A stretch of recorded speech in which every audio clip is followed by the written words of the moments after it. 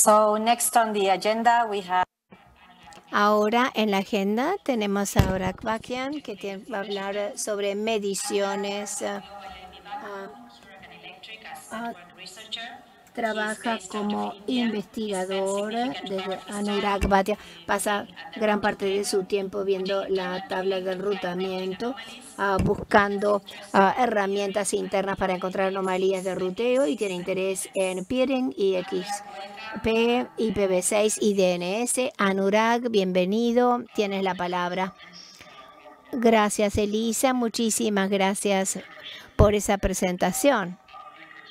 Quisiera expresar mi agradecimiento al equipo de la CNIC por aceptar mi charla y también por Máximo por contribuir a este evento.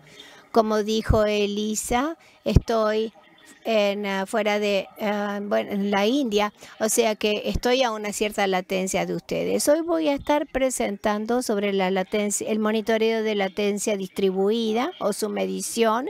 Voy a comenzar compartiendo mi pantalla. Elisa, ¿me puedes confirmar si lo estoy compartiendo bien? Sí. Bueno, medición de latencia distribuida. Bueno, esta presentación comienza mirando el SmokePing. Para los que no saben, SmokePing es una herramienta excelente para monitoreo de latencias y es algo de lo que nosotros hemos utilizado como la opción de inicio para hacer el monitoreo de latencia con uh, pérdida de paquetes, etcétera, basado en, ISMP y apoya ISMP, HTTP, DNS y muchas otras sondas. Tiene una, es fácil de configurar y rápido y puede enviar correos electrónicos si hay latencia alta y se detectan, bueno, pérdida de paquetes uh, y de uh, correos tienen unas ciertas dificultades el smoke ping. Esencialmente se están debidos al hecho de que es difícil de aumentar de escala. Si ustedes están trabajando en diferentes ubicaciones que tienen, necesitan diferentes configuraciones, en 10 diferentes ubicaciones y tienen 10 eh, configuraciones diferentes, es difícil que hablen entre ellos y uno puede tener una vista no federada, no fácil de federar. No son fáciles de hacer las gráficas basado en la fuente del destino. Ah, por ejemplo, le pueden cinco, cinco, ubicaciones y 50 puntos eh, finales le puede dar 250 gráficas. Y es difícil estar mirando tantas gráficas para ver si hay pérdidas de paquetes o una latencia. Y además tiene un soporte de alerta limitado. La mayoría de las herramientas eh, modernas uno pensaría que puede eh, poder em, tener un, un, gran soporte de alertas. Bueno, comencé a buscar eh, diferentes alternativas y de última, quería monitorear la latencia con diferentes puntos finales y yo quería realmente tener más eh, fuentes de muchos destinos con un número de gráficas que sea alta y por lo tanto que den eh, una, una vista agregada, agregar las, las gráficas eh, con la idea de que todos pertenecen al mismo número lógico de país, de ciudad, etcétera. Debería ser más fácil de monitorear la latencia y además otras cosas como los monitoreos de servidores, de dispositivos de redes, etcétera. Para eso, bueno, utilizamos Prometheus. Voy a dedicar los próximos minutos a darles una idea de Prometheus antes de volver a saltar al tema de monitoreo de latencia. Prometheus es una herramienta que en sí incluye una herramienta para recuperar diferentes métricas y almacenarlos en TCDB y ponerlos a disposición en un punto de HTTP. Se pueden hacer encuestas eh, y funciona con un modelo de pool por defecto, donde las métricas se pueden extraer de diferentes endpoints con un agente. Se puede almacenar en la métrica como en la CPU, utilización de memoria, utilización de almacenaje y tráfico de interfaz de redes e incluso lactencia. Prometheus sirve para hablar a la gente vía HTTP para extraer esas métricas en intervalos eh, predefinidos. Y como decía, se puede hacer consultas desde los endpoints. Aquí tienen ustedes la idea del diseño general. En el medio tienen a Prometheus. Puede ver entonces e, extraer métricas de los servicios de exportadores con diferentes características. Puede servir para monitorear contenedores eh, o diferentes interfaces y todos, en todo se monitorea la latencia.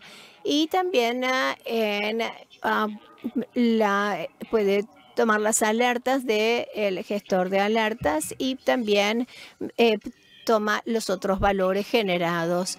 Entonces, si ustedes no han utilizado Prometheus antes, bueno, recuerden que todo es métrica. Lo que, todo lo que ustedes interpreten se puede, eh, todo lo que ustedes guarden se puede interpretar, se puede medir y se puede graficar en como sea necesario. En el mundo ideal, Tal vez uno quiera tener eh, una visión de todos eh, los, los links, de manera que yo quisiera, por ejemplo, si yo quisiera ver la, mi latencia con Ciudad de Panamá, digamos que es posible ah, promediarlo por ejemplo, de un minuto, cinco minutos, y puedo establecer alertas para cuando es demasiado grande. Uno puede agregar diferentes etiquetas con métricas. Por ejemplo, ustedes pueden tener país de destino, Hong Kong, o tipo de destino como la nube, por ejemplo, y da soporte a,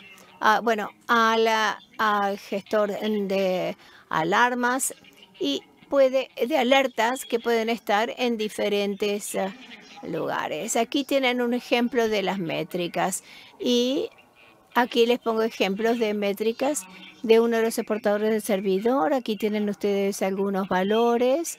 Tienen un P, un valor y algunas etiquetas eh, adosadas. Y si pasamos ahora al exportador de Blackbox, bueno, además de estos exportadores ah, de Prometheus, tenemos, ah, tenemos el, exportador Blackbox, que es ah, de código abierto y que se puede almacenar, se puede guardar como una herramienta mundial. También funciona como un contenedor o y puede utilizarse con cualquier hardware. Puede funcionar en un servidor o en otros dispositivos. Y Ah, sirve para HTTP, HTTPS, DNS, TCP, ICMP y gRPC. Esencialmente cuando ustedes están monitoreando un punto de ICMP, de la latencia, pueden monitorear cosas como cuánto tiempo llevó la solución DNS, cuánto tiempo llevó conectarse, etcétera. Y ah, como está escrito en Go, se puede eh, bajar, descargar y ejecutar como binario en un servidor. Aquí tienen ejemplos, de sonda de eh, eh, mediante un exportador Blackbox. Esto no es en vivo, pero simplemente para comprender, este endpoint está en mi servidor, en un punto VPN, y Aquí debería utilizar el módulo ISMP4 y Target. Y aquí tienen ustedes los valores. Si se concentran en estos valores en el medio, nos da una resolución, una latencia RTT de 0.2. Bueno, aquí ven los milisegundos de latencia y Ah, el tiempo de la latencia de configuración. En esta configuración simplemente estoy sondeando. Ahora, en el caso de Prometheus, ustedes esperarían que fuera mejor. Luego, SANOG es la segunda sonda, sanog.org, también utilizando exportador Blackbox. Y aquí esencialmente tenemos la duración y los valores aquí son para conectar, procesar, resolver y todos estos valores son en milisegundos y desde Singapur. Y aquí yo estaba en Ashburn. Aquí tienen ustedes un ejemplo de configuración sencilla de Prometheus. Lo puse en Prometheus y hace ese sondeo por ustedes. Y puede ser bastante diferente según los endpoints diferentes.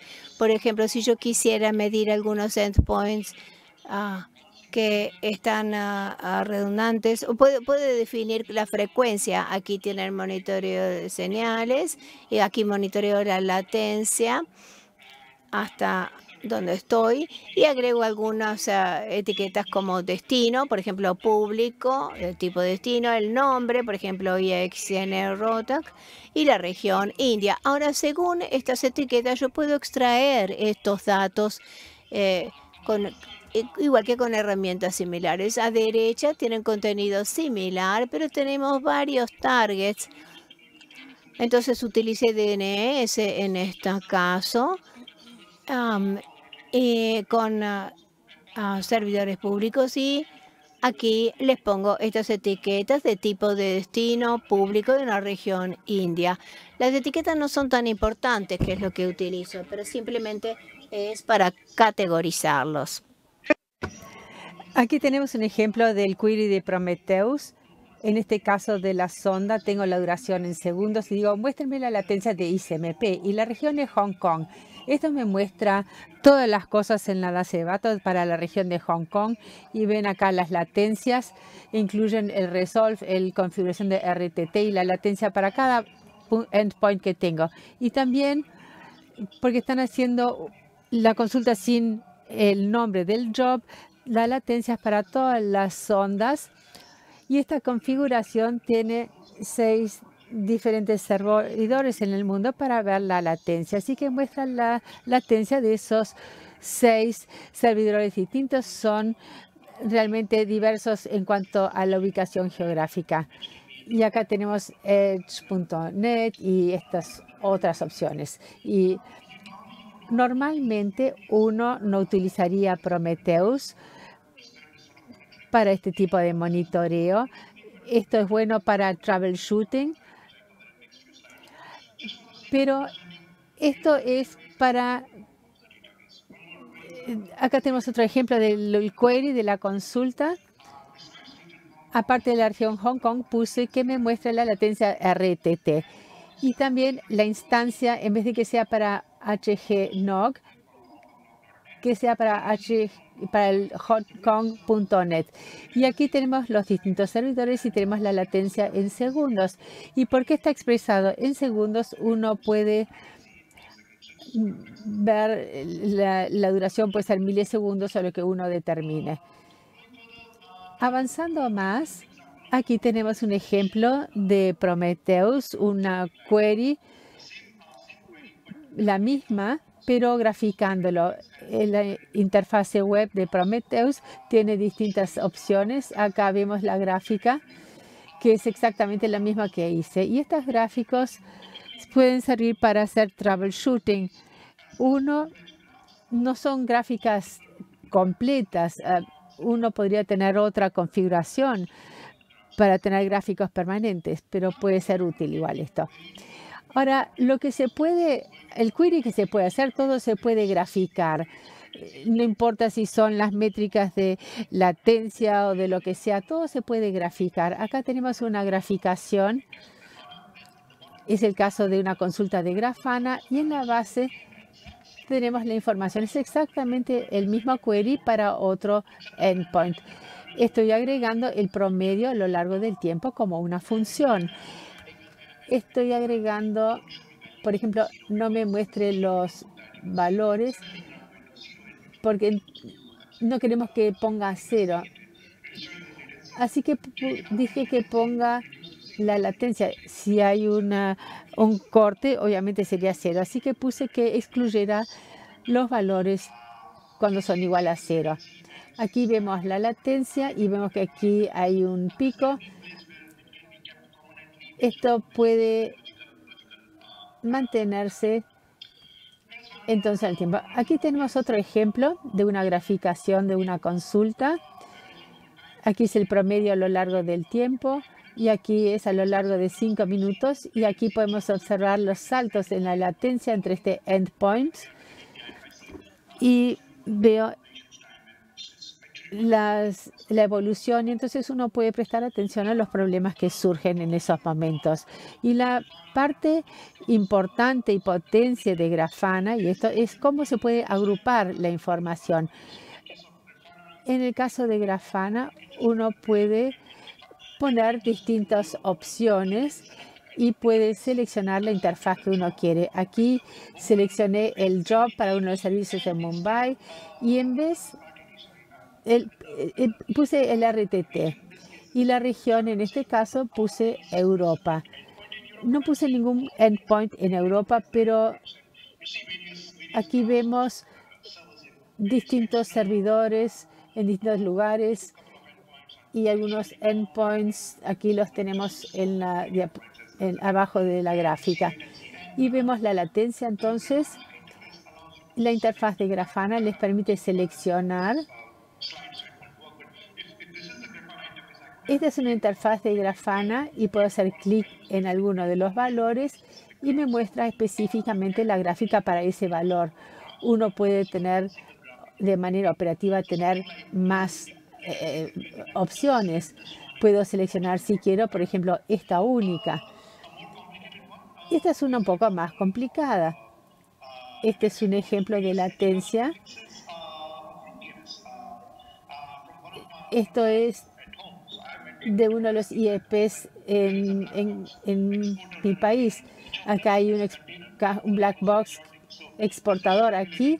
Acá vemos la latencia hacia los DNS servidores eh, root, raíz. Así que es interesante y divertido observar estas gráficas. A veces uno puede ver que hay variaciones en la latencia.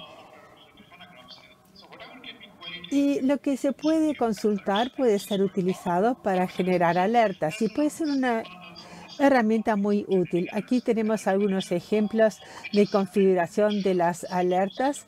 Funciona en el mismo ecosistema que se conecta y esencialmente le estoy diciendo que me dé una alerta si eh, la latencia de ICMP es superior a 120 milisegundos y durante más de cinco minutos y la expresión es exactamente la misma que les mostré antes, pero tiene que ser superior a 0,12. Les digo, muéstreme los datos cuando el promedio superior a 0,12 segundos o milisegundos y agrego aquí algunas etiquetas como puse acá.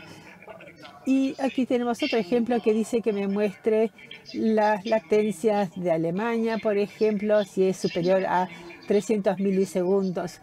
Lo mismo que en las diapositivas anteriores y en este caso la latencia es superior a 0,3 milisegundos durante más de 5 segundos. De manera operativa, capaz que quieren generar estas alertas para las situaciones que son más críticas si uno pone solo dos promedios, una sola pico en redundancia les puede generar demasiadas alertas. Así que uno tiene que determinar el valor del promedio para que uno no se pase recibiendo un exceso de alertas. Este es un ejemplo de cómo uno recibe las alertas. Este es un ejemplo de un correo electrónico uno lo puede hacer sobre distintos tipos de aplicaciones que tenemos hoy en día que le envían estas notificaciones. Una de las ventajas de este ecosistema es que se puede escalar, se puede escalar muy bien y por defecto Prometheus tiene una única instancia, pero tienen requerimientos masivos con múltiples endpoints y ubicaciones, entonces lo pueden hacer con sensores en distintos lugares para tener una mejor visión. Hay otros paquetes de código abierto como Tanox y Cortex, etcétera, que les permite almacenar estos datos a largo plazo. Yo almaceno todas estas métricas y uno puede tener su propio endpoint o pueden seleccionar un proveedor de nube que ustedes quieran. Aquí tenemos un ejemplo de las tasas de alertas en Tailandia. Esto es lo que se puede observar en Grafana. Básicamente hay dos conjuntos de gráficos con los valores agregados. Uno es de Nuremberg en Alemania, hacia puntos, hacia endpoints en Alemania y otros en Mumbai. Y también pude reunirlos en un icográfico si quiero. Y no me queda mucho tiempo, así que voy a apurarme un poco. Y acá tenemos la distribución. Y esto es lo interesante de Ripe Atlas. Supongo que ustedes lo conocen, pero si no lo conocen, creo que Miquela Galante de Ripe NSC está con ustedes hoy y hablen con ella si tienen consultas sobre Ripe Atlas. Pero básicamente es un proyecto sumamente interesante y si tienen acceso a Ripe Atlas pueden ver las distintas mediciones. Ahora, aquí tenemos un caso donde uno puede exportar esto y buscar las mediciones. Uno tiene estos valores. Nuevamente, envío paquetes desde unas eh, sondas. Aquí tengo la gráfica que se obtiene. Estos datos vienen de Ripe Atlas en la misma instancia de Grafana. Y lo que se observa en mi red también se ve en el RIPE Atlas y eso es lo que hace que sea muy interesante. Y otro caso para trabajar sobre latencia distribuida, eh, uno puede hacer mediciones a partir de Google y también hay mucho interés en medir en la India la latencia de Google y se puede utilizar con contenedores stateless. Uno puede exportar la información y obtiene el mismo tipo de gráficas. Para resumir, las métricas están volviendo una forma de hacer tooling estandarizada. Los sistemas Anurag, perdón, se nos acabó el tiempo. Vamos a empezar a, cerrar la presentación. Bueno, si tienen una pregunta, por favor, me escriben. Muchísimas gracias. Gracias, Elisa. Gracias, Anurag. Perdón, pero estamos un poco atrasados. Muchas gracias por tu presentación. No hay ninguna pregunta, pero si hay preguntas, las podemos hacer offline